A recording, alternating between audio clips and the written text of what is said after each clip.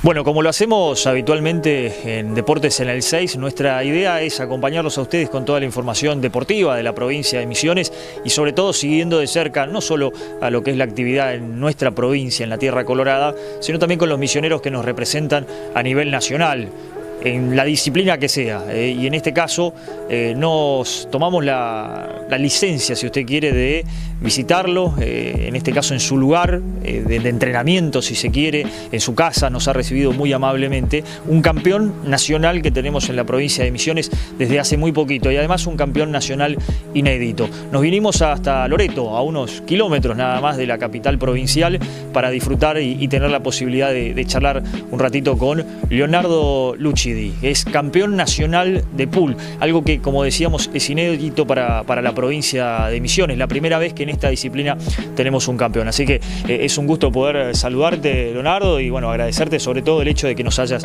recibido acá en, tu lugar para charlar un ratito. Bueno, ¿qué tal chicos? Desde ya muchísimas gracias, eh, Mauro y bueno, toda también el canal de televisión de Canal 6. Les agradezco, bueno, esta nota que me están realizando. La verdad que es una alegría enorme para mí. Siempre desde muy pequeño, bueno, anhelé llegar a esto y bueno, ahora de grande lo pude lograr. Bueno, contanos un poquito, eh, Leo, ya vamos a, nadar, si se quiere, un poco en tu historia y, cómo es el contacto que tenés fundamentalmente con esta disciplina, que es el pool en definitiva.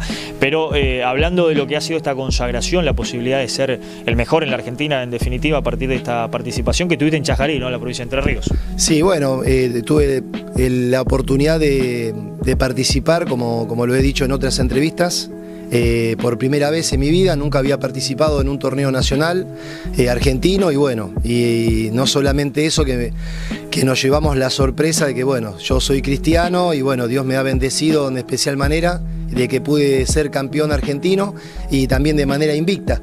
Eh, así que bueno, ahora me espera en esta misma categoría seguir haciendo dos partidas más en Comodoro Rivadavia, que si es, si es que se puede dar. Este, y el otro último torneo de bola 8 este, que se realizará en Buenos Aires. Bien, eh, a ver, eso está bueno porque lo vemos ahí en la identificación que tenés, eh, la bola y el 10, más allá de lo que también me comentabas un poco de, esto del acompañamiento que decías por parte de, tu creencia religiosa, también que siempre es muy importante, pero algo que nos contabas en una oportunidad, está bueno reflejarlo, incluso en una modalidad, este bola 10 en el que salís campeón, que incluso no la conocías en profundidad, digamos, al momento de jugar el torneo. Sí, en verdad es así, Mauro, este, no, no conocía lo que es la reglamentación, eh, son tres modalidades. Tenés eh, la modalidad, o sea, el reglamento de bola 8, el de bola 9 y el de bola 10. Tradicionalmente todo el mundo conoce el de bola 8, pero el de bola 10, eh, bueno, es más complejo, donde todas las bolas ejecutadas son cantadas, se marcan las troneras, se, va diciendo a medida que uno va jugando, hay un árbitro y bueno, se le va diciendo todas las cosas, ¿no? Este, y bueno, sí, es la más difícil de todas y bueno, te digo, como cristiano fue un milagro de que a pesar de que no, de que no conocía esta modalidad, eh, Dios permitió que la, pudiera ganar. Y es muy difícil.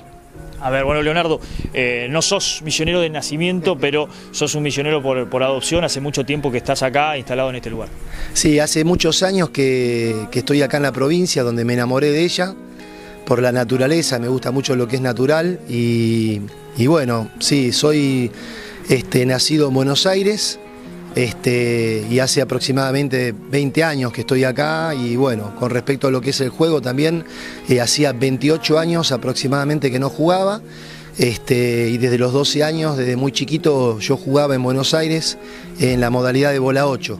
Y bueno, después por cuestiones de, la adolescencia, como siempre cuento, uno, eh, bueno, se va inclinando a otra cosa. Y bueno, y también otra de las cosas que, nunca dije en la nota, que, que, una de las cosas que fue que me hizo dejar del juego es porque a veces nosotros como deportistas eh, en este juego eh, no encontramos mesas adecuadas, con un buen paño, con unas buenas bolas, sobre todo bien niveladas. Y eso bueno, hizo de que realmente cuelgue los guantes, ¿no? como ese dice el dicho. Y bueno, y dejé de jugar porque a veces cuando vamos a jugar las mesas no están bien y bueno, uno las tira de una manera y se ejecuta de otra. Entonces eso también un poquito me desanimó y fue una de las cosas que por eso que también fue, sobre todo creo que dejé de jugar. Pero bueno, eso eh, también está bueno eso que explicar Leonardo, porque el tiempo te dio la posibilidad, a partir de tu eh, función, de, tu cuestión laboral y demás, te dio la posibilidad de poder precisamente adquirir cuestiones de calidad, digo, una buena mesa, tacos, bolas, y eso te llevó un poco a, engancharte otra vez con esto de, de, volver a jugar después de tanto tiempo, ¿no? Sí, sí, obviamente. Después la verdad que eh, un amigo mío este, me regaló una, una, mesa de ocho pies y bueno, yo no la quería aceptar. No, no, Leo, llévala. Este, Alberto, ¿no? Alberto Selva. Entonces, bueno, gracias eh, también a ese regalo que él me hizo, me dice, no, vos Leo, restaurala y después con esto tenés un, escalón para poder comprarte otra mesa mejor. Y bueno, y así fue, la verdad que, que no tenía en mi corazón, sino que fue Dios preparando todo y después pude obtener esta mesa hermosa, que es una mesa antigua de más de 120 años de antigüedad, es una mesa estadounidense que ahora seguramente en la nota la van a poder apreciar, es toda de cedro, tiene toda la vuelta de madera, de las portas bandas de madera quina, que es una madera dura, y bueno, me la restauró eh, una gente mm, de la familia Ricci, de la provincia de Santa Fe, que son especialistas en restaurar mesas, y bueno, le pusimos bandas nuevas, se le puso un paño profesional que es español, eh, Gorina, que es lo máximo que hay, este, y después también se puso las troneras de cuero, que son de manera artesanal, que después lo van a ver, este, y bueno, las bolas de juego son también bolas de Bélgica, eh, Aramit, que son las Pro Captivist Tournament, que son las mejores que de todas, las que se juegan en el Mundial. Y bueno, con todos estos elementos, yo practicando acá solo en la selva misionera, me permitió entrenarme eh, solito, tranquilo, y bueno, y dije, ¿por qué no? Eh, ir a jugar a un torneo nacional, a ver qué pasa. A ver, eh, retomaste la actividad, entrenaste cuánto tiempo, digamos, solo, como bien explicabas, acá con la mesa, en tu lugar, para después decir, bueno, estoy en un nivel como para probar, eh, porque uno siempre dice en, todas las disciplinas lo mismo, el deportista se entrena porque le gusta, el que juega al fútbol, el que juega al básquet, el que nada, todos se entrenan fundamentalmente porque le gusta el deporte, pero llega un momento de tanto entrenar, lo que necesitas es probarte, esa motivación de decir, bueno, entreno, me siento bien, pero quiero probar realmente mi nivel. Bueno, muy linda pregunta me hiciste. Eh, justo casualmente, eh, acá en la provincia eh, tenemos un, máster que es de, categoría máxima, que es un campeón argentino también, pero de máxima, se llama Pero Indaburu.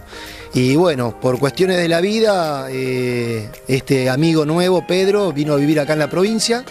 Este, y bueno, justamente eh, por una cuestión de, amigos y de otros amigos nos pudimos contactar, lo invité a casa y bueno, y, también él me pudo dar un, par de toques para, para, poder entrenarme mejor, ¿no? teniendo una experiencia tremenda eh, de categoría máxima, tener el privilegio de que pueda venir acá en casa. Y bueno, y así me fui entrenando, también después en una oportunidad este, por eso que esto más o menos, como vos me dijiste, que lo retomé hace casi un par de años y en una oportunidad estuve en Buenos Aires donde me dio también dos días de clases Fabio, Fabio Mora, que también fue en esa época un jugador también de categoría máxima y él es profesor. Y bueno, también me fui instruyendo porque me gusta mucho y tengo una, una pasión tremenda por este, por este deporte, ¿no?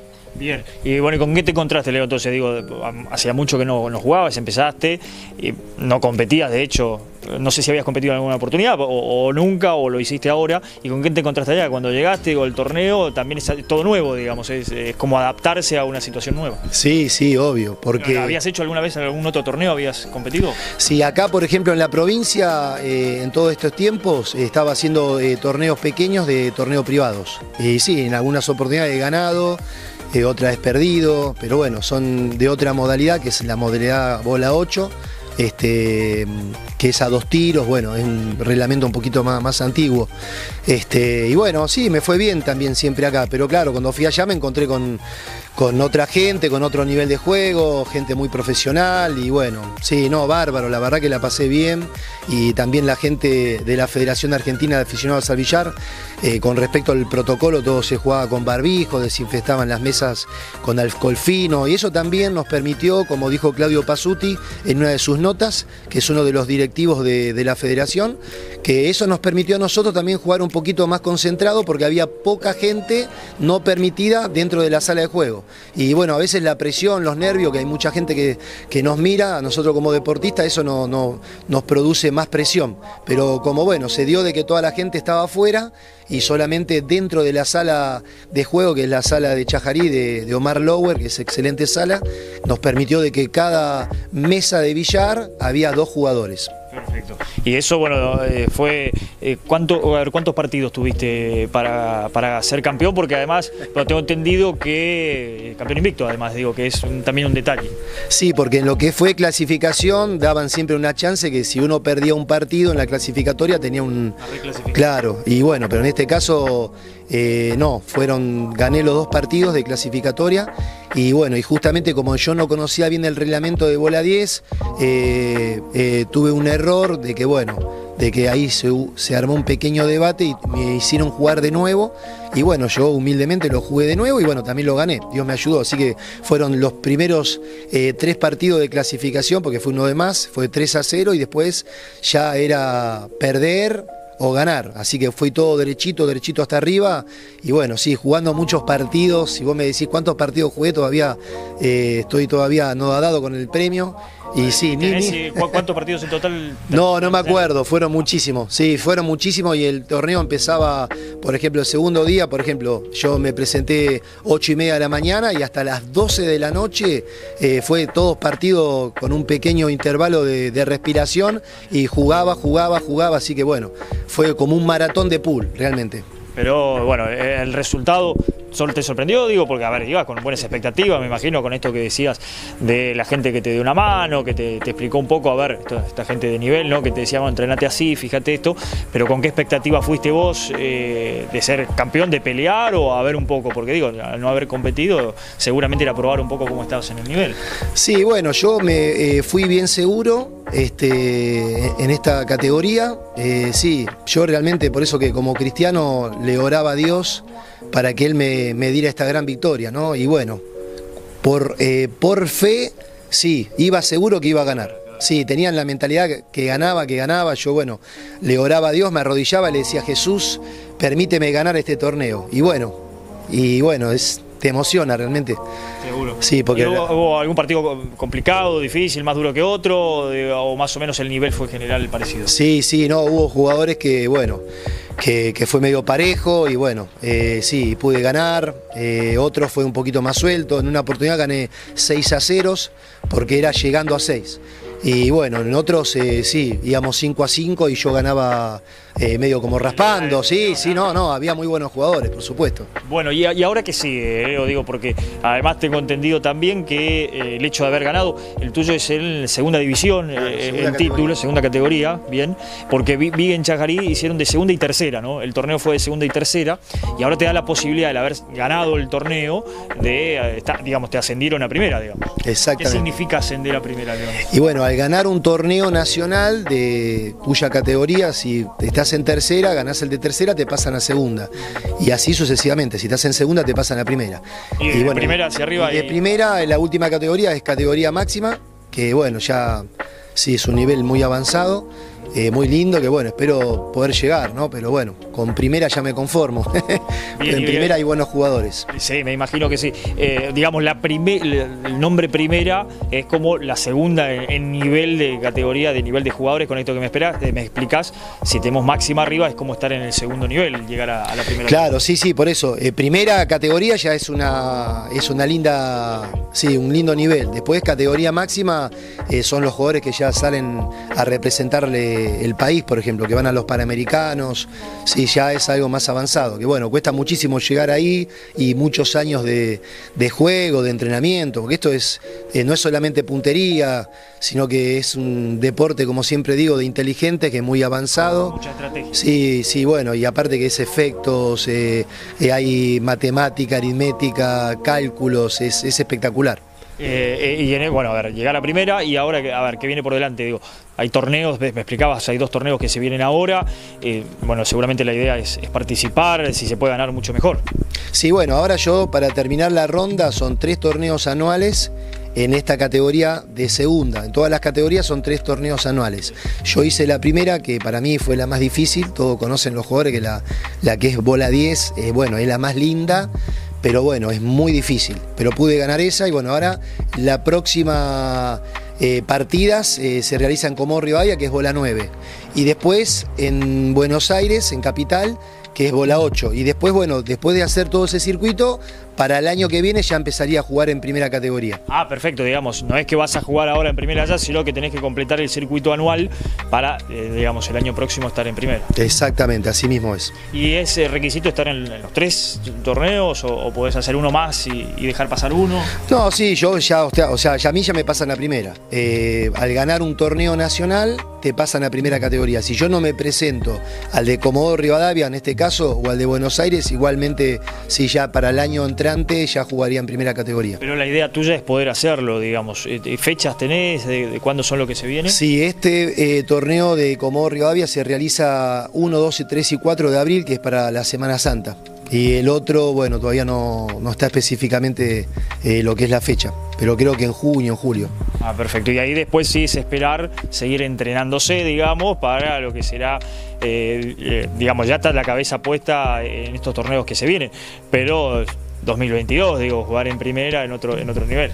Y sí, ya aparte uno se tiene que esforzar mucho más y bueno, yo creo que, que voy a jugar con más presión, pero voy a jugar cómodo, porque la verdad que, bueno, como te digo, como soy cristiano, siento que Dios está en el asunto, Dios me, me puso en este deporte, a veces dentro del cristianismo piensan de que competir eh, en un deporte, algo, piensan de que, que es algo que no está dentro de lo que indica la palabra de Dios, pero sin embargo, bueno, en estos tiempos finales, donde realmente vemos eh, la necesidad a través de la pandemia, donde toda la gente está desesperada, que piensa de que la solución es la vacuna. Yo siempre digo como, bueno, como cristiano que la solución es Cristo y bueno, yo lo que más deseo también transmitir y aprovecharte a vos, Mauro, y a Jessica que me están haciendo esta nota de hablarle a la gente a través de esta nota deportiva eh, poder hablarle de que, bueno, de que se acerquen a Dios, porque según la palabra de Dios, proféticamente vienen tiempos más difíciles, eh, no sabemos si todo esto se viene para atrás, pero lo más importante es recibir a Cristo como único suficiente Salvador, porque las cosas no van a venir de bien, no va a volver a ser como antes. Según la Biblia, esto viene todo muy difícil y va a ser peor de lo que de lo que va a ser hasta que venga el Señor, que hay una promesa muy divina para nosotros los cristianos y para aquella persona que haya recibido a Cristo, viene Cristo a buscar a los suyos, a la iglesia. Y ese es el acontecimiento más grande que estamos esperando los cristianos, que es el arrebatamiento de la iglesia. Y hablando un poco de eso, eh, Leo, vos mencionabas algo que nosotros siempre insistimos, ¿no? Porque el deporte, eh, hacer deporte, sea cual sea la disciplina, ¿no? Vos te toca el pool, hay otro que prefiere jugar a un deporte de equipo, individual, el tenis, el fútbol, el básquet, lo que mencionamos habitualmente, pero el deporte es el lugar, digamos, es un lugar para alejarse por ahí de otras cuestiones, de lo que siempre hablamos, de otras costumbres que hoy por hoy tal vez eh, no le hacen bien, sobre todo a los jóvenes, digo, acercarse a una disciplina, en este caso el pool, es eso, la disciplina, lo que te enseña el deporte, lo que nosotros siempre destacamos, más allá de que puedes poder competir, ganar una medalla es lindo, ser campeón nacional es fantástico, pero lo del deporte lo importante es la disciplina, lo que te enseña como conducta, ir a un club, a un lugar, a entrenar, compartir con la gente, te enseña eso en el día a día. Sí, esto es hermoso, eh, tal cual como vos decís. Por eso que hay, parte de la juventud, bueno, que está perdida en drogas, en vicio. Esto es algo, si te pones a pensar, es jugar acá sobre un paño y es algo no solamente muy concentrado, sino es divertido.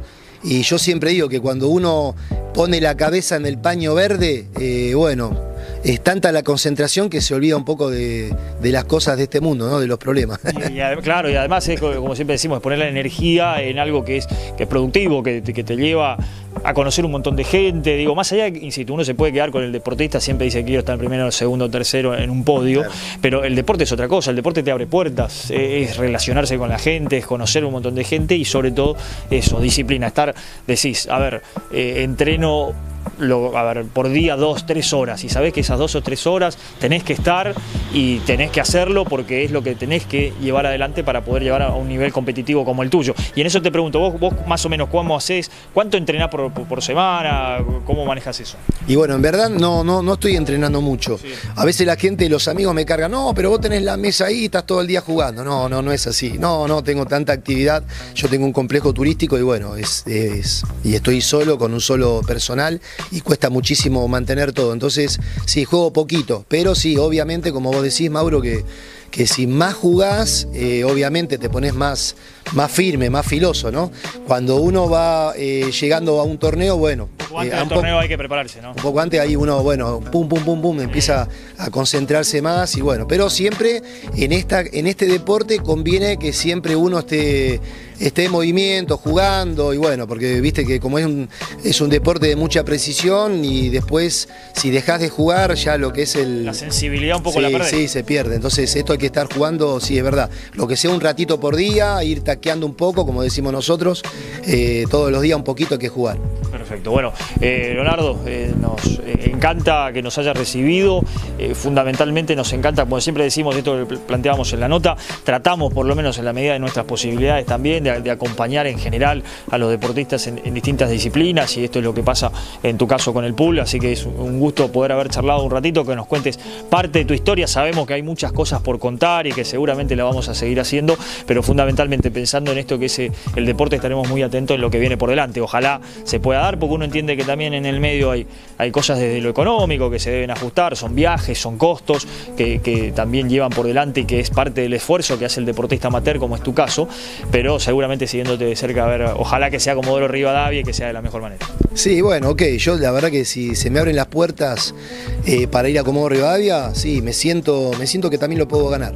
Este, ¿Por qué no? Siempre con la ayuda de Dios, eh, para Dios nada imposible, así que me gustaría, me gustaría poder viajar, se complica un poco, bueno, porque son muchos días y mucha distancia, pero bueno, estoy procurando de, de hacer todo lo posible, de poder viajar y jugar en ese lugar que aparte que me dijeron que en Comodoro Rivadavia no conozco, este, la sala de juegos y dice que el- las mesas son alucinantes, con un paño superior a este, que también es, es un paño Simoní, que es alucinante, y las mesas son también todas mesas profesionales. Pero bueno, Dios quiera que pueda ir, y si no iré, bueno, eh, ¿qué va a ser? Habrá que pensar en Buenos Aires. Y sí, habrá que pensar en Buenos Aires. Yo siempre digo que igualmente eh, lo más importante es Jesús. Esto igual es algo terrenal.